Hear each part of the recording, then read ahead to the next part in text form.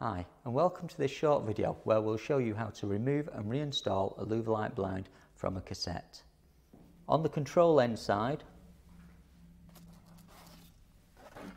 lift the blind and push to the opposite side which will release the control end side and remove the blind from the cassette. To reinstall the blind in the cassette, firstly push the plunger end into the bracket in the cassette, push the blind to depress the plunger, line up the control end with the control end bracket and drop in position. And that's how we would remove and reinstall the blind from a cassette.